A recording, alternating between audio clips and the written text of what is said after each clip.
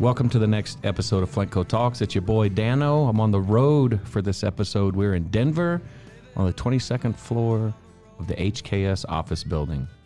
I'm joined here by some of my friends, Mr. Ed Smith, Miss Mackenzie McHale, and Mr. Mark Montgomery. Good afternoon. How are y'all? Doing great. Doing great. Mark, tell us a little bit about yourself. Who are you with? Why are you here today? Yeah, I'm with the WSP. We're an engineering firm, um, and uh, here to talk about target value design. Ooh, Mackenzie. Mackenzie McHale. I'm with HKS. We are a global architecture firm. And uh, yeah, we're here to talk about the same thing Mark's here to talk about. Brother Ed. All right. So good to be here with you, Dan and Mark and Mackenzie. Uh, so Ed Smith, director with Flintco, and in my role, I'm involved with the various earliest stages of the project. Love working with owners and design teams, and personally and professionally, I'm really very passionate about TVD or um, uh, target value design and pre-construction. Happy to talk about it with everybody today. Awesome. Well, we've got a great group here today. We've got a lot of great minds, great partners that Flintco's worked with before, and we're excited uh, to be able to talk to y'all a little bit about TVD. So, when we say TVD, everybody kind of has a different way to define it. Mark, do you want to start? When you hear TVD, what goes through your mind? Yeah, uh, talked about this a little bit earlier today. Um, target value design or target value delivery, and I like uh, calling it delivery Mm-hmm. because it's more than just design. It's uh, all encompassing. You need a really engaged um, partners, uh, owner, um, contractor partners, um, sub trade partners um, to really make it effective. Um, so, yeah, I think the way I would just uh, define it would be um, it's it's just a um, breaking down a project into different buckets that are managed by the different people and their experts of of those uh, disciplines, and then being able to effectively drive the um, budget um, based on those buckets, and then being able to um, when we need to trade uh, money through those buckets to keep the project on on target. And in the end, it's it's delivering uh, the most optimized for the budget for for the owner. Great explanation.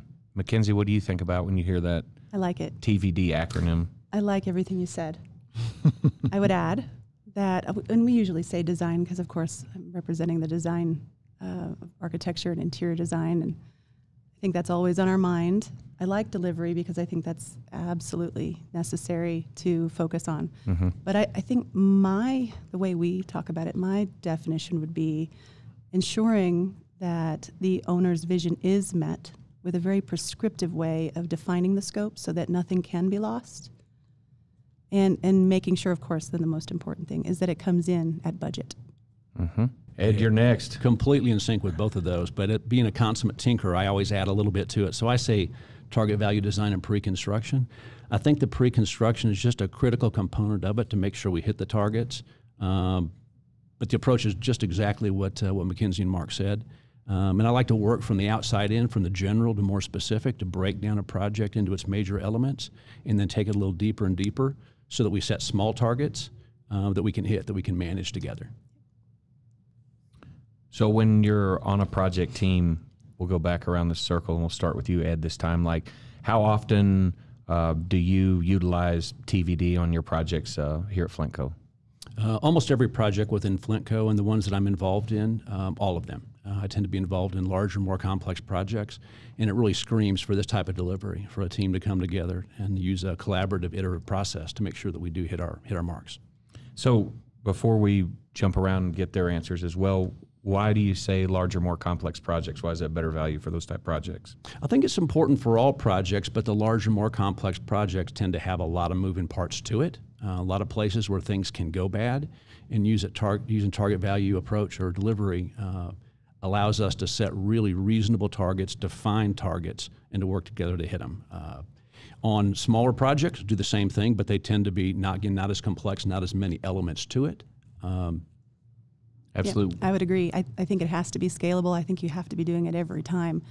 I think the benefit to our owners is to remove the necessity for value engineering, which is never a successful project. So if you can head that off with the intent of controlling the budget through target value and target values, I, I think that's really what we're going for, and um, yeah, it, it has to be scalable. I think I think we do all all types of projects, but whether it's called target value design in the RFP, whether whether we're tasked with that, I think that the mentality is there in everything we do.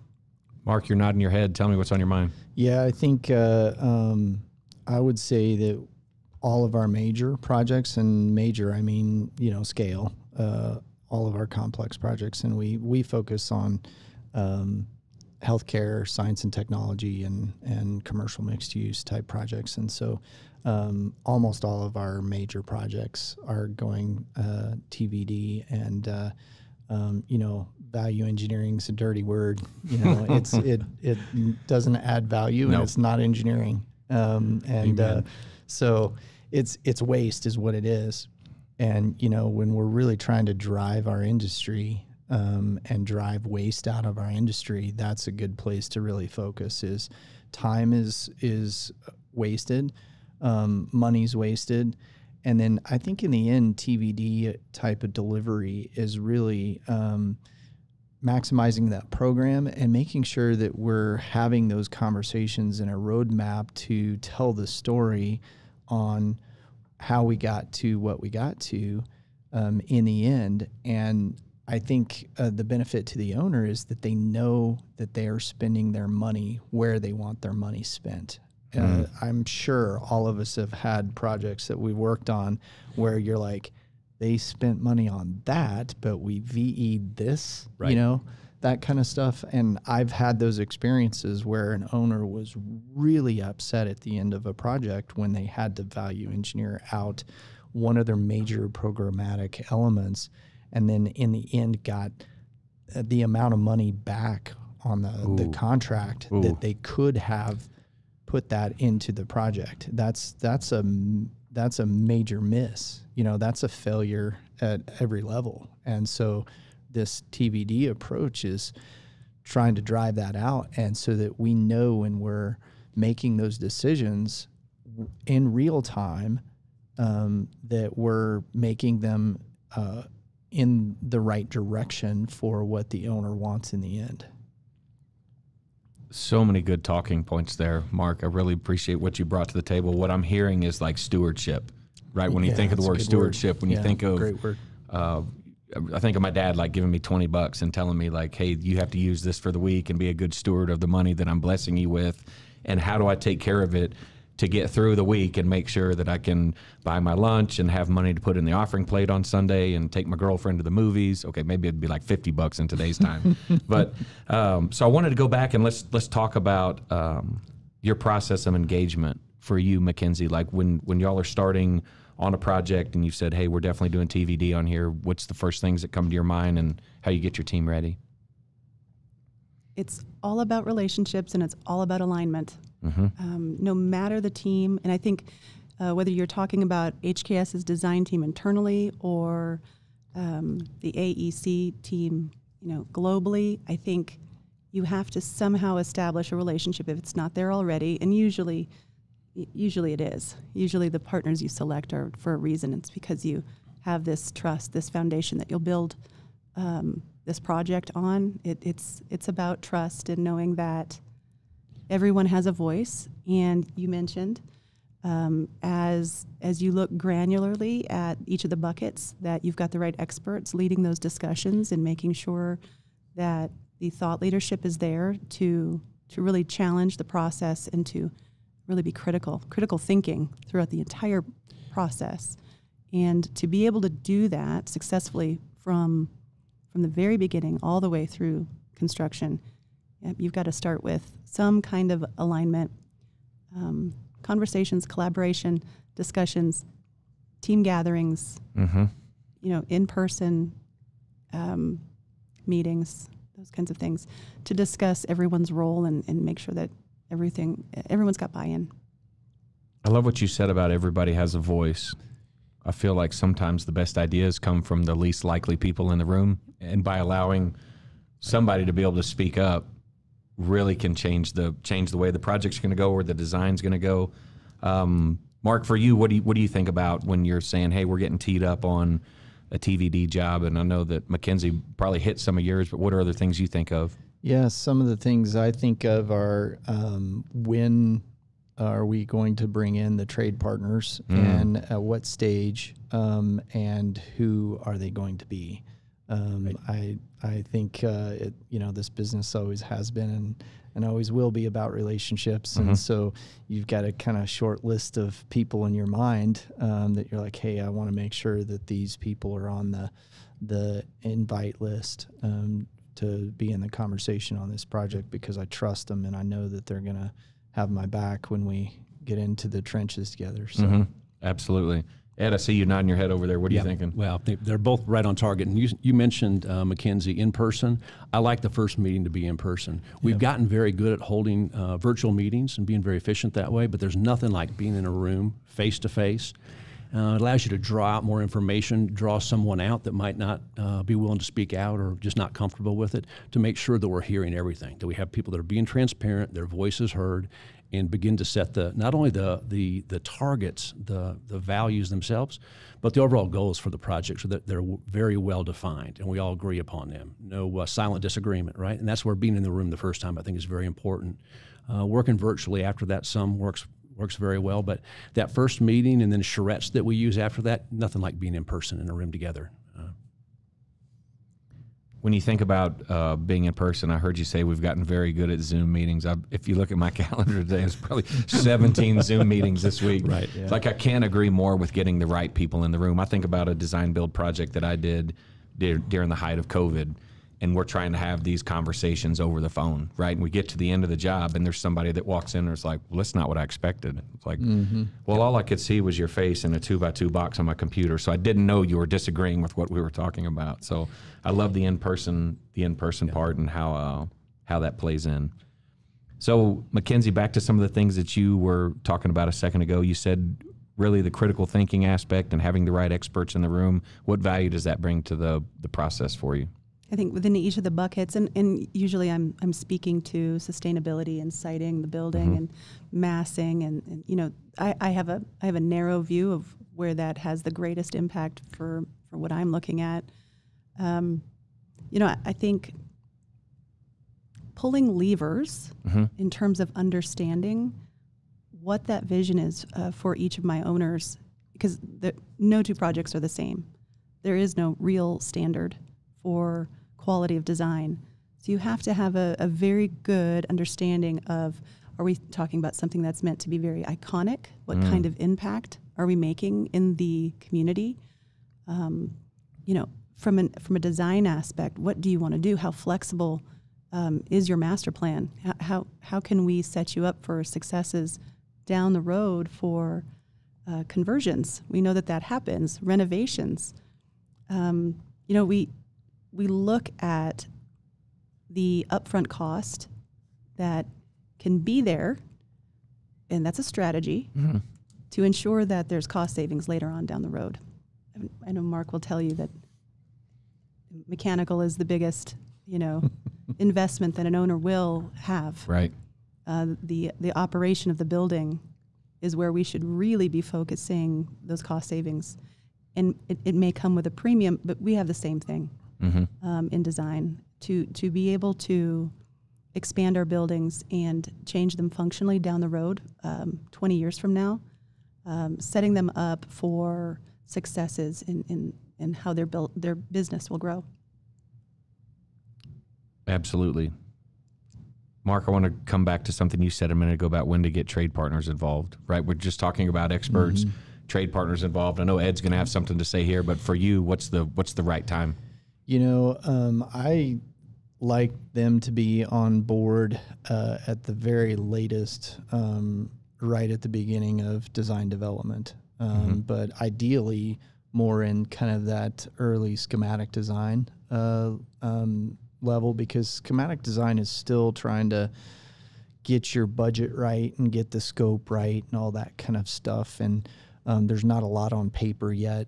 Um, the stakes are low in terms of the time to peel things back, or that's the time that we need to be throwing things at the wall and see what sticks. Right. And so um, multiple instances in my career where I've had great ideas from trade partners come up that didn't even wasn't even in the conversation, and those are the times you really want to explore those Right. and and put some numbers to it and say, hey, you know what? We we have a project that uh, Mackenzie and I are working on now where we have a budget that um, was earmarked for sustainability, and and some of that was earmarked for the envelope, and so we got into the energy modeling phase of the project and realized, well, gosh, uh, any more envelope improvements past uh, a certain point is really diminishing returns. And so let's maybe move some of those that bucket of money from the envelope earmark into the mechanical earmark because the the the slice of the pie of the energy usage is way higher after a certain amount. You always want to do uh, you w- always want to maximize your what we call passive strategies. So your envelope is a passive strategy, and then you go to the active strategies. And so in this particular project, we found that it was very heavily ventilation driven. It's a healthcare project, so we know that it's going to be heavily ventilation driven, and in this climate zone, it's always going to be heating driven. Sure. And so we found that energy recovery for that amount of money was a way better use of the owner's dollars than putting more insulation in the walls or on the roof. At some point, it's just diminishing returns. We're, we're fighting uh, uh, to try and get one or 2% more energy savings, which, by the way, is maybe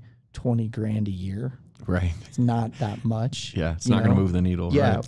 but if you take a look at that and and attack the ventilation strategy, then it's like, you know, forty percent. Right. That's back to the stewardship component Exactly. as well, right? Making sure you have the right value set. Ed, what were you going to say about trade partners and Yeah, so, involvement? so I agree with Mark. Generally, the earlier the better, but it does depend. It depends on the project and it depends on the trade. Um, like- that's right. By way of example, on a hospital, drywall is important. It's a big part of it, but Mm-hmm. we might not need to bring them on early.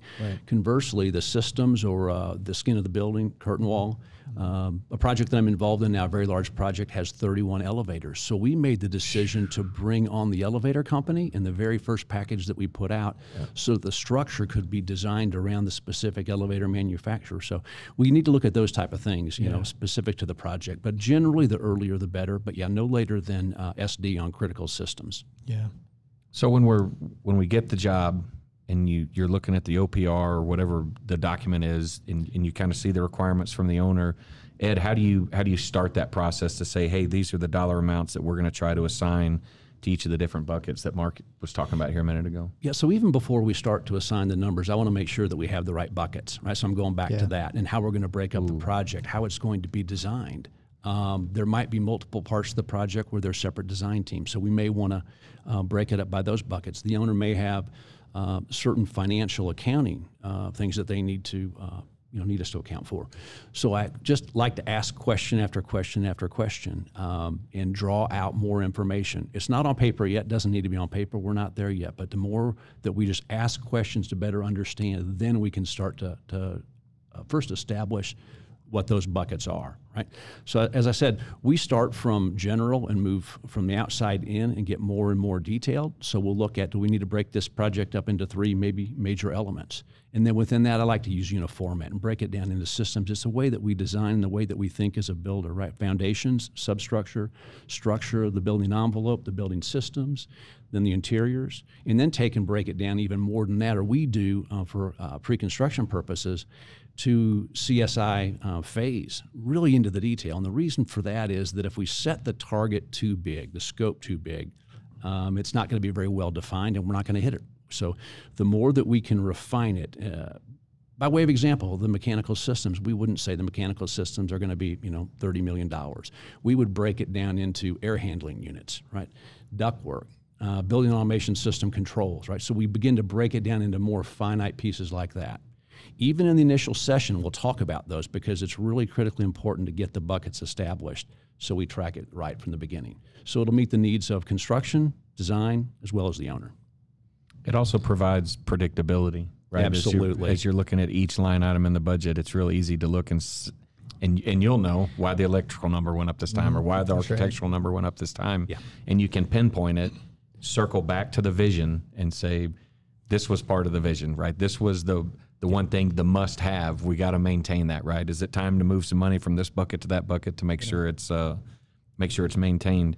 Mackenzie, when we break when we break something down, like Ed was just talking about, uh, are you always trusting of Ed and his numbers, or do you have your own Sure. historical data you'd want to look at? Sure. No. No. No. we know who our experts are. no, we do trust. Right Uh, answer. That, that's that is the reason why we look for the right partner. Um, having the right expertise, the right voices in the room, Mm-hmm. uh, that that really speaks to that. Uh, You know, what you've got is strategy, and what I've learned from our uh, contractors and our and our engineers as well. There's um, architecture has to respond to some of the, m- the most significant um, components of the building. Let's take mechanical.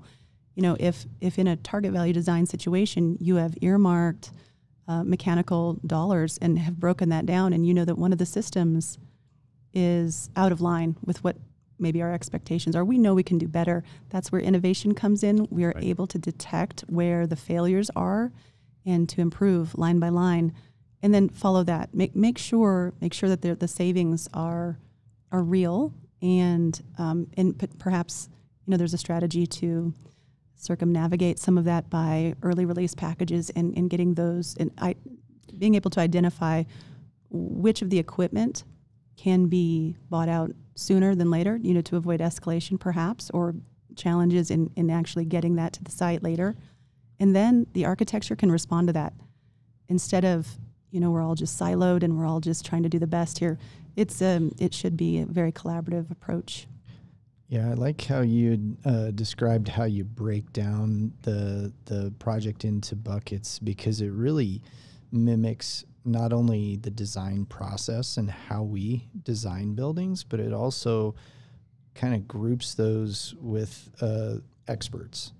And so the you know I, I am not an expert in envelope and shouldn't be in any of those conversations about the envelope of the building, but uh, keeping myself in in my expertise, but being able to understand what the envelope is trying to do, so that I can make sure that my systems are aligned with that. And so that's 100% how I think about design and the whole process is okay what are we trying to get to first and then where are the priorities? A lot of our early design conversations are all about what are the priorities of the owner? What was what's success look like? And so that we can define that and then measure ourselves later. And so i feel like the the whole tvd process aligns to that and kind of helps us in a more natural way than just going, okay, we all go to our own uh, separate buildings, do our thing, and then we come back at a couple different milestones and see how far we've drifted. Right. You know. So, Well, and that's yeah, that's uh, value engineering, right? When things go bad, when you don't monitor it in between major milestones, things do go bad typically. So it's that constant interaction, the iteration. Uh, the check-ins when it, when uh, TVD becomes part of the vernacular of the project team, it works. When you have uh, an engineer calling up, and say, "Hey Ed, what do we have in for this? What do you think about that?" Right, so you're checking in all the time. Sometimes I think about it um, like a swimmer in a 200 meter uh, freestyle, right? We all dive into the pool at the same time, and then maybe take four strokes and you come up for air, and more strokes and you come up for air. Those are the check-ins. When we go to do the flip, the turn, that's a major milestone in design, and we're pricing it, right? But we don't stop swimming, and you don't stop designing. So we have to be talking all the time, right? So because it's constantly in motion, the design, which means we have to be talking all the time about the target budgets, and are we in sync? Are we hitting them? yeah. I was just about to ask you that is how often do we have to look at it, right? That was the question I had just written down because you talked about detecting failures, Mackenzie, and that's one of the things that if maybe I'm not going to take a breath till I get to the first turn, do you think I'm going to have some failures in my in my bucket allowance at, at, at the first milestone? I think you will. I th- You- absolutely. You, might sink. yeah, I might pass out. Let's be honest. I haven't swam in a long time, but um, I, I, I really like what you said about that. It's a, it's a really good analogy to think about. It's like you have to come up every now and then. Uh, we as contractors have to be willing to take the call, right? And as designers, y'all have to be willing to make the call or be able to provide the feedback, right? So it's all the way back to this, the right relationship, right? And having the right, um, the community amongst the team that comes from the in-person meetings. It comes from the conversations. It comes from the conditions of satisfaction. We love to do a conditions of satisfaction kind of charter at the beginning of every job. Help establish a vision. What does success look like? You said that just a, sec- a second ago.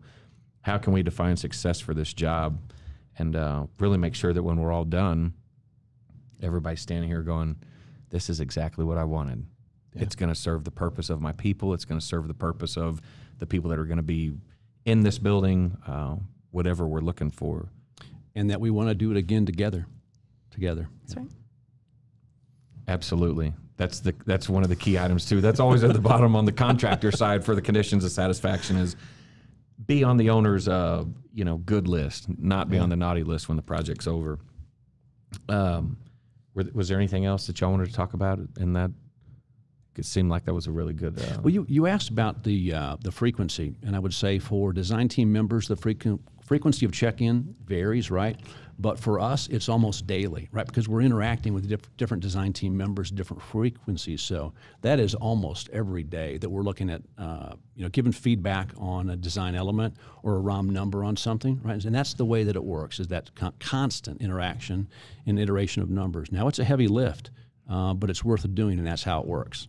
Well, it, it's fluid. That's right. and I think it is continuous, and it's that rhythm you're talking about with the swimmers. I um, I I think it's the same as picking up the phone. I mean, it doesn't have to be a Zoom call. It doesn't have to be something amen. Yeah, amen to that. Hey, I just found something. We're Yeah. thinking about doing this. Sure. What is that? What impact does that have on our bottom line? Is there a better way to do it? I mean, let's play 20 questions. We we can get to Right. this. We can get to the answer, and and check a bunch of boxes for everyone at the table. Yeah, and even having the trade partner input as well, right? Because sometimes they might know of a different system or they might know of a different avenue to try to accomplish something that gets the right That's right. the right cooling load taken care of or the right heat load taken care of that that helps everybody and is not even in um, not even of our realm of possibility for here. So Yeah, a lot of times we see great innovation come from just the procurement. You Mm-hmm. know, they know who's going to be the one that we can get on time or the one who's, you know, uh, got the better pricing out there and those sorts of things. And so we can design to that manufacturer. Mm-hmm. You know, the, one of the biggest frustrations uh, in in the design community is okay, we're designing this. We have to pick a specific something, but we are keeping it open for procurement and keep it competitive. And then, you know, it's all we joke in the design community like, well, if you want to be on the job, you don't want to be listed as the specified manufacturer because uh, guaranteed you're not going to be the Right. one that gets used. Right. And so um, we joke about that a lot, but it's it's almost uh, uh, you know the the the poison, uh, and so that that makes a big difference for us because okay, now we know that XYZ manufacturer is who is going to be the best, and we've already got them locked in, Right. and so now we can design around that because if we don't, then that's an RFI later. How many times have we said, okay, we've designed an air handler, we've bought a different one, and the electrical connections are slightly different? right. It's every job. And Yeah. so it's a risk to the job. It's a bucket that ends up being contingency and those sorts of things. But if you can mitigate that risk early on in design, we're all about it. It's just, it makes everybody's job easier and it's less waste because it takes everybody doing it twice when when we do it differently. So Right, and I think Mackenzie alluded to that earlier when you said that the values are real, right? When you think mm-hmm. about what the value is of this specific scope, and maybe something changes, you're like, oh, it's a ten thousand dollar savings for this, but nobody ever goes back and looks at the connection. That's right. And all of a sudden, the electrician's pulling Yep. wire up there, and they're like, oh, That's right. Yeah, the mechanical guy, and and in a the the old world, old school kind of way of doing things. Hey, you buy out the and you know create your margin by you know buyout and try and really um, get the best thing for the mechanical. And that might save five thousand dollars over here and cost fifty thousand over here. And then everybody looks at everybody in the room and says, "That's a failure." Um, so the more that we can drive those things out, and we have to have the trade partners there because Absolutely. they're the they're the ones that are in conversation with the market to be able to actually make those procurements. And and sometimes they have such a great relationship with purchasing power that that makes a huge difference to the owner um, in pricing and you know responsiveness, all sorts of things. It's it's super powerful. That is that is just spot on. Uh, take air handling units for an example, right? That varies over time. Which manufacturers might be more competitive, and it varies by market. It varies by region. Yep. And so, making those selections early for that specific project for that market will let, let you um, get the best value. And and not doing that, there are a lot of downstream effects, negative effects. exactly. Um, yeah. As you know, we mentioned electrical can affect structure. So many different Yeah. things. Yeah. yeah. Exactly. I think back to a project that we did, I don't know, 10 years ago in Austin, and it was a design build. It was a chilling station, and uh, it was a 15,000 ton station. It was going to be unmanned. Well, the OPR said it all needed to be air conditioned. And we started saying, hey, why are we not going to do this? And I was talking directly to the mechanical guy, and we ended up coming back with this huge credit. And thank the Lord that the electrician was sitting in that next meeting going through the list of, hey, what are savings opportunities? And we said, we can save this much money if we don't condition the first floor. And the owner says, oh my gosh, this is such a great idea. And the electrician says, hold on, you know, my conductor size is going to have to increase, right? It's going to be warmer in the space. And all of a sudden, it's like, a good thing we didn't put that one on the log yet, right? It's a good thing that we didn't account for that. And, and all of a sudden, everybody was in the room. We could diagnose the issue right away. And the electrical engineer says, great, let me go back and I can make do some calcs and figure out what the conductor size is now. And hey, it's not the savings we thought it was, but it's still worthy of looking at. So We as designers are really good at uh, making great ideas expensive. But it's important to look at the uh, potential unintended consequences, right? Um, Yeah. Yeah, so absolutely. It's, it's having that, that conversation, yeah, digging deep. So when circling back on how often do we look at this? When you know, typically we have owners that bring us on on a, a CM at risk type project, and it's very prescriptive about we have an estimate at 100% SDs and 50% DDs. Is there an increased uh, drawing review or uh, release? Would you say, Ed? Is that is that beneficial or is it? Um, not an increased drawing release. It's really not about that. About having uh, the design team stop and print, right? We so we still use the major milestones uh, for a printing, and it's always good to do that. Have a check set and really put eyes on it. But uh, we're able to look typically in the model, right? And so we're having virtual meetings and looking at a model. We have people in uh, even early on beginning BIM coordination, looking try to identify some potential clashes or, or problems. So. Um, it doesn't have to be the physical print to stop and print, and that I mean that's a, that's kind of a killer for a design team, right? That's a that's a big task. Yeah, it can be it can be a lot of effort, and if it's not being uh, if it's not helping the project move forward, then um, you know I I think on big projects it makes sense to have maybe a you know fifty percent DD and DD, and then fifty percent CD and CD. Um, but on smaller projects where we're doing that, and then in three weeks we're we're doing the hundred percent. Yeah, There, no I mean, sense in doing that, right? it's there's really not enough time to actually react to it and help dr- steer the ship. And so I think sometimes we can just get uh, programmed into checking boxes and uh, not really think about the value of yeah, it. the contract says we have to do this, so we're Yep. going to do it, right? That's exactly right. So Ed talked about looking in the model. How do y'all feel about you know sharing models throughout design and and letting guys like us look through them and try to determine quantities, that kind of stuff? Um, I think uh, you know having the conversations early so that we know how to set up the model and mm-hmm. those sorts of things and expectations and make sure that it aligns with contract because sometimes we've been asked for a lot of stuff that's Right. you know significant amount of time Sure. but but in general i would say you know i, I don't think there's a, a project i've done in this method that we haven't laid out the electrical rooms and send uh, those to the electrician and said please take a look at these Right. and tweak them because now's the time to do it.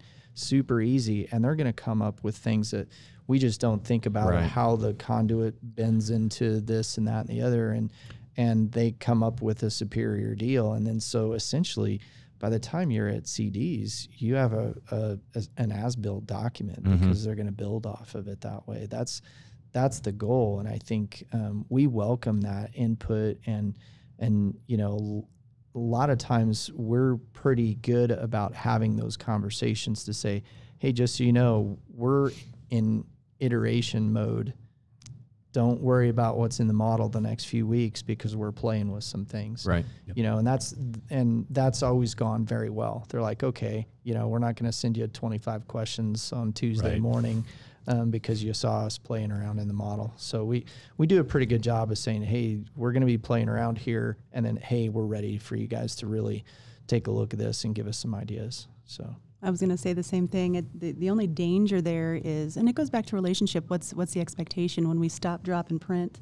It's usually for our process prints. Uh, it's for coordination, and we're good at knowing that there's probably two or three design iterations in there that we're either testing or considering still. And so handing that over could could be confusing. It it might Yeah. it's misinformation Right. in some cases. Um, it's not a very clean model uh, for a lot of the first uh, initial design phases. So we, um, you know, we, we do that. We welcome that certainly. I think it's a it needs to be a controlled effort. I, I think it's a more of a coordination tool, um, and and it deserves conversation. Agreed. Yeah, and I think what goes along with that too is things just in it's all about communication again. Where, um, hey, we talked about this two weeks ago. How come it's not updated yet? Well, we're not working on that part of the project right now. We're kind of doing these other things, and and what I love about the TVD, the the early design phase is a lot of it is just spending time studying things Mm, and going, yeah. hey, let's run this idea to ground. Let's let's run this idea to ground. Let's put an ROI to all of this stuff. And it really gives us tons of experience um, that you wouldn't get until the building was built otherwise. And so we're getting to really spitball this thing out a little bit further with quick i mean we're not holding anybody to any dollars you know we're just doing comparative dollars so we can say Right. oh is this a payback or is it not a payback and and uh, um, that's what I love about it is you really can test a lot of things quickly, and within a week or so, you know you've got the answers and say, okay, yeah, we're not exploring that. And sometimes that can take, it can linger months if you're not got everybody in sync and and having weekly check-ins, and you have that other person who's responsible for that component engaged and there at the table. you know? Yeah, I, lo- I, I love that. Uh, and we love playing the what ifs, right? To do it early, what ifs, and then run ROM numbers or rough order of magnitude, to test out different solutions and to do it early. Yeah. I'd really then set the course. Something else that we like to do as part of uh, target value design and pre-construction are charrettes, in-person charrettes, where we have very focused meetings where you're focused on a, a certain issue or set of um, set of issues, and work for solutions. Right. So we have done it on the large project that I mentioned. We've had ten for the building facade. And then ultimately, we rolled in uh, superstructure, so we called it the building facade and superstructure charrette. And we had everybody in a room literally working through details even before the shop drawings uh, had started and, and before design was complete. And it's such a positive way to do it to have those focus charrettes. We've also done it on MPE systems, right? So you're working a lot out a lot of uh, potential issues, I should say, not necessarily issues, but uh, potential issues. And uh, we just find it's a very positive way to do it. Those I think are better in person. Get people gathered up in a room so the frequency is less, uh, less often, but very, very powerful tool. But you're you're kind of solving those problems before they become problems. That's right. That's, That's the right. idea. What were you going to say? Awareness. Oh, oh yeah. Uh, I would say some of our charrettes, and we, we use the same word. Um, I think just making sure everyone's on the same page for um, floor to floor heights, no fly zones. Oh yeah. Yeah. You know, those, there, there's a lot of savings, heights. Right, to be had, Yeah. and uh, depending on the function of each floor, there's some play there that could be potential cost savings, major cost Yes. savings. So some of those kinds of charrettes with all of the all of the folks who would have buy-in on the building structure and the and the building systems need to be present to to help guide that conversation. We don't do that in a silo. So uh, yeah, that those are the kinds of things I think I heard when, when you're talking about you know that kind of collaboration. One of the things, Mark, you said a few minutes ago was TVD gives you the opportunity to drive waste out. And I want to talk about that for a little bit. When you said drive waste out, there was a hundred things that went through my mind about what that actually means. Let, let's let's dive into that a little bit. Tell us a little bit more about it. Yeah, um, waste in my mind is time. Mm-hmm. Um, that's a that you know that's probably the biggest one, and and uh, um, then uh, you know things like okay we we made a decision, but now we have to go back and make a decision again. Um, so you're you're kind of double dipping there. Sometimes you end up buying more or less uh, than you need to, um, and that that's pretty common for us as well. Um, and uh, you know, just the unknowns. I think a, a lot of times, as an engineer, you're kind of uh, forced into well, what's worst case?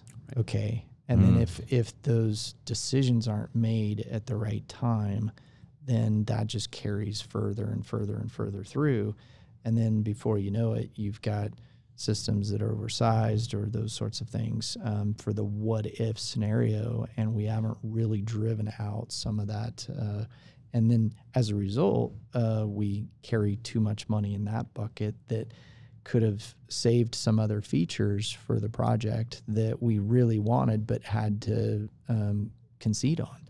So in in my mind, that's that's what comes to my mind or what I mean when I say waste. It's it's most of the time it's it's time and just redoing. Mm-hmm. Um, but uh, um, you know sometimes it's actually in the material at the end. you Right. know, yeah. what- Very what do very real up with? construction cost. You're right. That's dead on. Yeah. Yeah.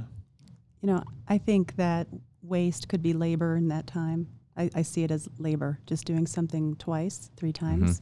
I think that actually increases the chance for errors and omissions. Mhm. As a designer, 100%. You think you've already figured that out. You think you've already coordinated that thing. Well, the downstream effects of unint- unintended consequences um, come back to bite. Um, it is. It comes from a little bit of fatigue, having been through it, and um, certainly, we're we're we're very well versed in doing that. But there is some risk there that we have to constantly be aware of. You bring up a great point, Mackenzie. Uh, my good friend Sarah, that you and I were talking about earlier, uh, she did a study for us. Then this is probably like 20 years ago, and um, where where do we make the most mistakes on projects? And it, it was astounding to see that if we're drawing things and then changing and redrawing things and changing and redrawing things, that is where we make mistakes. And it's also out of order sometimes too. So if you are doing things uh, that you did in schematic design, but you're doing it back in construction documents well down the road, Mackenzie brought up that point. It's excellent. That's your brain has already moved past that. Right. It's it's out of order. It's out of sequence, and so you don't go through the same thinking process. Right. It's already been did vetted, right? We're, that's right. Right. And so, uh, an example, one time, you know, uh, hey, just just move this. You know, how many times have we said that to each other? Right. It's just this. And so you go to whoever's actually doing that work and say, it's just this, do this.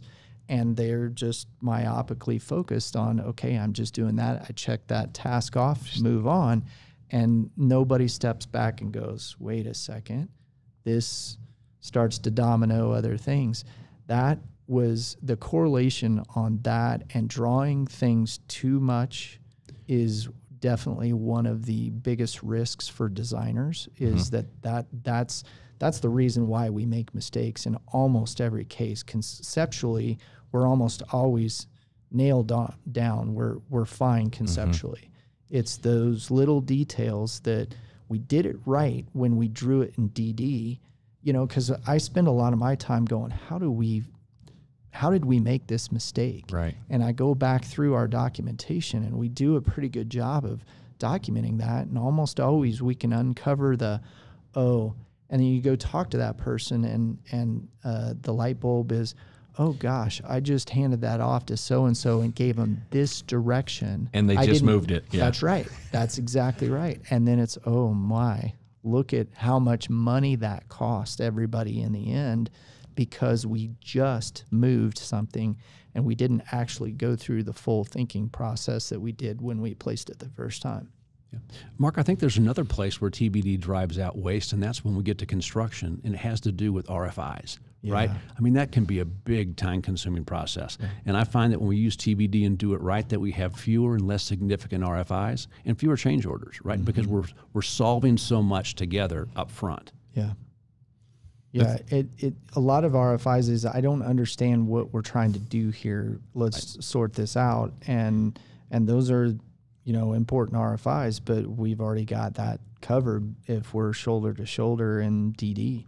That's one of the big benefits early on for owners, uh, also designers and the contractors. You have those conversations when it is just paper or it is just in the model. It, it's easy to move something. It's not we're building something and we're just going to slide this over a little bit and you end up in a big problem. But I mean, RFIs, they're tough for us of being assigned to a job site right now. And we've got RFIs and, you know, the designer's like, oh my gosh, you keep asking us questions. And we're like, we're still trying to figure out what we're doing, right? It's, it was a rush process. And um, I love thinking about TVD and how it relates to accountability for everybody. It's no longer just on the designer. It's no longer just on the owner. It's no longer just on us. It's, hey, we're a team. We're going to get in the boat together and let's let's paddle this way and let's make sure that we can make the right decisions. What you said earlier about designing a system for worst case scenario.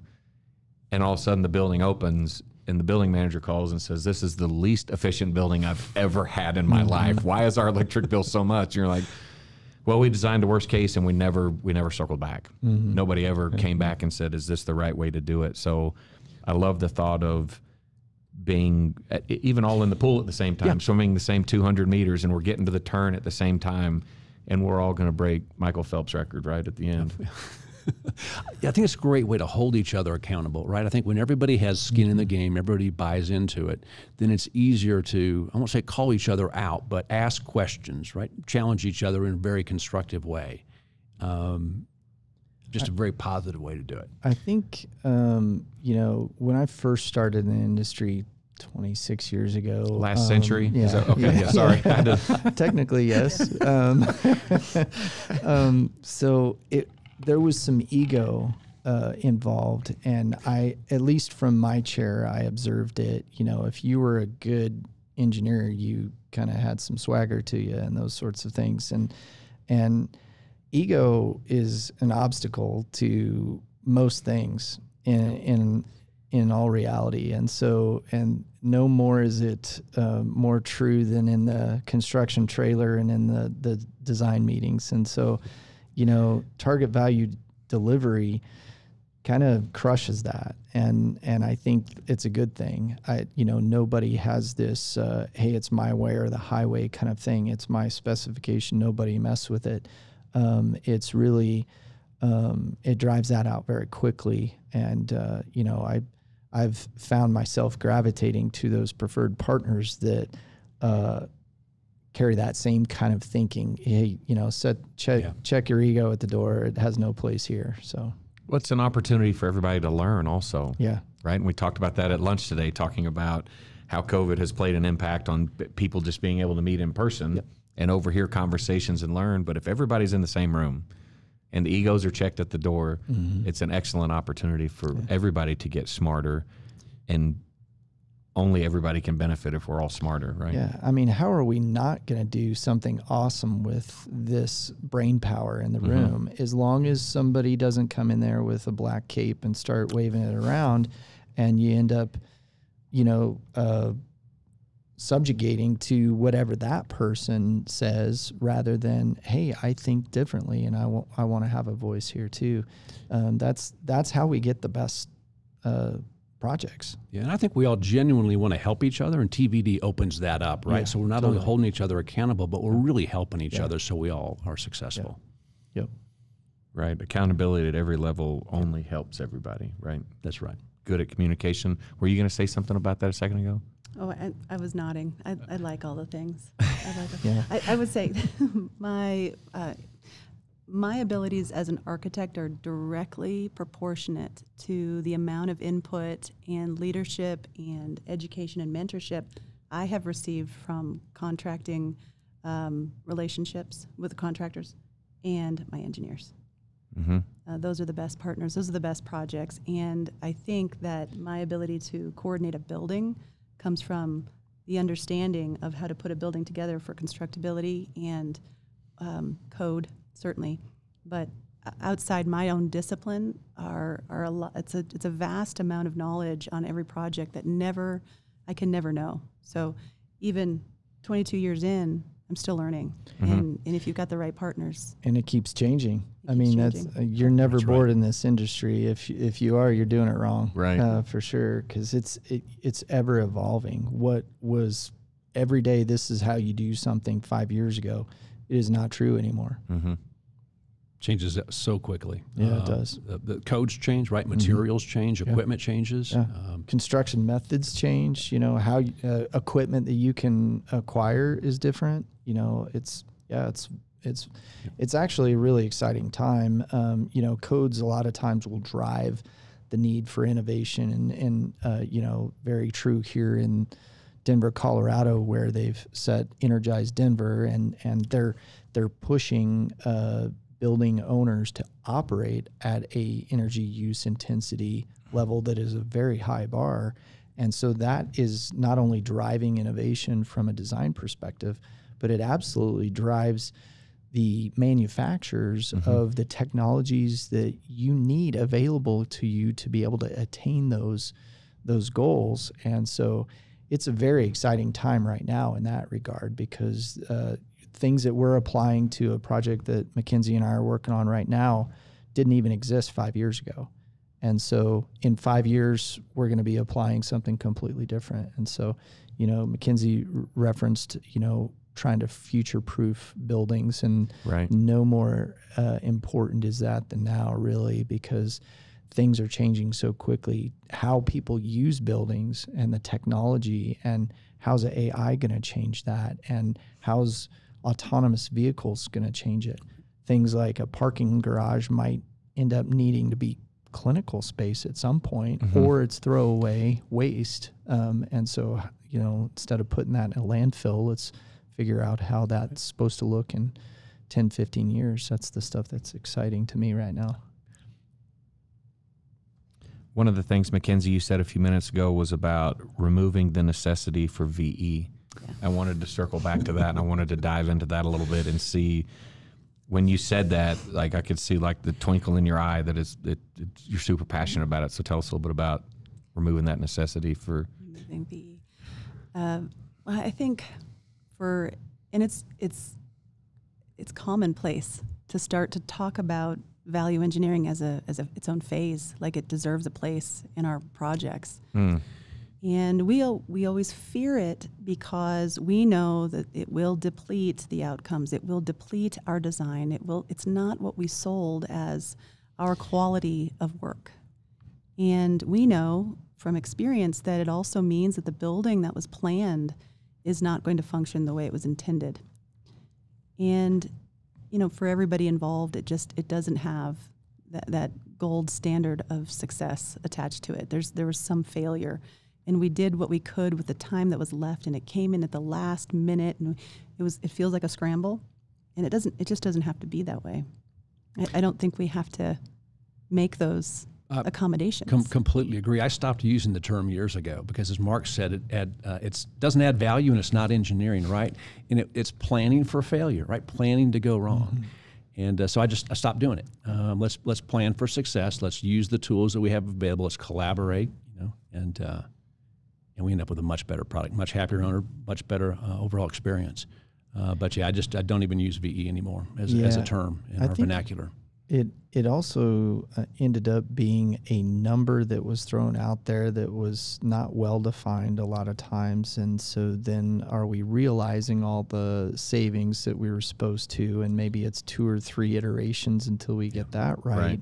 Um, and sometimes it was a fictitious number because they didn't know ABC when they came up with that number. And so oftentimes those meetings are so brief in terms of the decision making. It's a number on a spreadsheet to get down to Right. another bottom line number. And nobody really knows the f- entire impact of those those decisions because oftentimes they were okay electrician, you give me this, mechanical, you give me this. Nobody talks. We all just put it in a list and then we go, okay, here's the numbers, yay or nay. And that's exactly how those conversations happen. And then in the end, we're like, well, yeah, it saved the electrician fifty thousand bucks, but it just cost the mechanical, you know, a hundred thousand That's- or stuff like that. So you're not actually, in reality, you're not actually getting anywhere. The next pricing update comes in, and you're like, Yep. why didn't we save fifty thousand dollars here? right. What That's- happened? And we did everything on that VE list, and magically something's not off. And so, you know, so we're back to redesigner putting things in that we just took out, right? Yeah. It's the, the right. downstream impact and those unintended consequences. Yeah, and all and and still the end date stays the same, and so we've got to redesign it all now. You know, I had a, a project uh, that years ago we, um, you know, incorporated all of the value engineering items on it, and at fifty percent CDs, the decision was made to eliminate an entire air system, and this is in a hospital, and so had to redesign everything at fifty percent CDs and it was a complete nightmare you know and i can tell you i don't feel like that was value now i would have been glad to do that at the dd phase Right. when it should have had that conversation um, and that would have been a natural iterative process that is what design is but boy when you do it too late then it just causes so much problems and you know I've, I've seen owners start asking what it was your you get awarded a job, right? A lot of times we get awarded jobs at 100% DD. CM at Risk works, what mm-hmm. Flintco does, and I've seen owners, sophisticated owners, ask, "What was your DD number?" and then what was the final contract? yeah and looking for a percentage point. And if that percentage point is five percent lower, they're like, "You guys didn't do your job during the during the estimating phase or during the pre-con phase." And it's um, I got asked that question in an interview a couple months ago, and I was kind of like, "I'm glad we were within one percent because that would have been pretty embarrassing to say, oh yeah, we gave back five percent to the owner,' and they're sitting there going, "Well, what did you cut out of that job? What are you going to cut out of our job if that doesn't come around?" yep Ed, how is the percentage point uh, when you think about close percentage at DDs and at final contract on the uh, really the project you're working on right now? Is is one percent kind of a big margin, or is it little? Or It is. We're within a quarter of a percent. We've been able to keep it there through, um, you know, through uh, through COVID and through a lot of escalation, and it's just by working as a team, right? Keep hitting those targets, making adjustments, uh, not cheapening the project, but we've been able to hit it. Uh, you know, because because the team is committed to it, because we talk about it in literally every meeting, um, and we're committed to it. We've, we've stayed within a quarter of a percent. that's planning for success, right? That's That's right. probably music to the owner's ears, right? Hopefully, the owners listening today are saying, "Golly, this sounds like a great team, right? Where are they at? Oh, they're in Denver. Cool. We can find them to do a job for us." So, I mean, that's definitely the whole the whole point of today is to really talk about what the value is, the overall value for really the owner and then also the team, right? And we end up mm-hmm. getting to the end of a project. We're proud of how it turned out. We're happy that we're we hit the budget line. We hit the uh, completion date like everybody thought, and it's and we walk out going, "Hey, we can do another job together." Like the owner, there's a chance the owner's going to hire us again, right? It- It's going to be successful. Absolutely. So at Flintco, we're really big on safety, right? And when we're talking about this this curse word VE, I'm not even going to say it now after what we've talked about it. When we think about safety, how does that process impact safety uh, on a project? Yeah, from a design perspective, um, we think about safety in operations um, specifically. And, you know, if you design too much equipment in too small of a room, then that's an unsafe place to do the work and, and oftentimes poorly maintained and those sorts of things. Right. Sometimes we make decisions early in the design process on the electrical side that have high impacts to arc flash and those sorts of things that are um, major safety components. And so I think um, weaving safety into the design process is an important conversation as well to really drive that out and make it not only a beautiful, fully functional building, but it can actually be maintained and can uh, maintain its high performance at the end. Edward, do you have some to add there? I, I, I do. So part of the uh, target value design and pre-construction process are the charrettes that I talked about. In the charrettes, we focus on safety. Uh, by way of example, when we were working on the facade, the decision was made to use um, unitized curtain wall, and we looked at how that could be installed more safely than stick built. Or uh, on the facade of the building, we have ACM metal panels that would go on a light gauge metal framing. But we determined that we could do that in the shop, or I think it could be gusseted and installed so we don't have someone on the side of the building installing all these small pieces of light gauge metal framing. It can be done quicker, you know, more safely. It's doing uh, being done in a fabrication shop. So uh, we look at that, the installation of equipment, right? You mentioned um, arc flashing, but we look at the installation of equipment, the space that we have. Um, to some, if something could be changed, it can be installed more safely, or uh, uh, prefabrication, right? So that we're doing more offsite fabrication and bringing it in, doing less work at height. So uh, it's a really big focus for us during those charrettes and throughout the design process. Absolutely. Mackenzie, do you have anything to add? I've got to look through my lens of life safety. Um, Okay. I think if you're talking about value engineering, and this is pretty drastic, but it does happen, where we're actually charged with reducing square footage for cost mitigation. Well, the life safety plans are designed in egress, for instance, in ratings, in, in um, how to defend in place. That strategy is designed early on, in, as, as early as SD. And if in later stages we're actually removing portions of the building or reducing square footage, that has to be redone completely across the entire floor and vertically uh, to ensure that egress has not been disturbed. Sometimes we're asked to downgrade in terms of uh, ratings, um, and and that's that complicates everything. So I, I think if you know we're we're really trying to make huge strides in cost reduction and we're reducing scope, you're actually at risk of missing something that's really a non-negotiable and should remain in place. Who would have ever thought TVD could impact safety? But it turns out it does. Are there closing thoughts? Mark, any closing thoughts on TVD and what you want to leave the listeners with? Oh boy. Um, I, Y'all be thinking I'm going to ask y'all too. So Mackenzie and Ed, y'all just are on deck. we we covered a lot of. Hey, I can't do that, can I? No. Um, we covered a lot of great stuff here. So uh, I guess in summary, I would say that um, if your project's not doing that, or if you're not setting up your contracts to execute a project like that, I'd highly encourage you to try it. Um, it I've found it to be a superior way to execute projects and execute work, and I think it's it gives you the granular decision making that's required for um, for complex projects for sure, and um, it it breaks down those silos between you know uh, the different swim lanes. You know, uh, you're a mechanical engineer, so you're only going to talk about this with these people, and and we're we're getting to use the best talents of everybody in the room when we do that. So, I, I I'm all for it. So. Um, Mackenzie, what about you? I think what we're just talking about is culture. It's a culture shift. It's Yeah. it's the Yes. design and engineering and construction team's culture of how we deliver work.